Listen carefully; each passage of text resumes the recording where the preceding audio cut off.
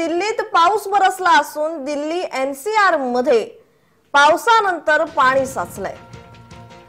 आणखी पाऊस पडण्याचा हवामान विभागाने अंदाज व्यक्त केलेला आहे. मंगळवारी पहाटेपासून नोएडा बुलंदशहर सिकंदराबाद दादरी येथे हलक्या पावसाची नोंद झाली. दिल्ली नोएडा आणि एनसीआर भागातील रहिवाशांना मंगळवारी सकाळी मुसळधार पावसाने जाग आली.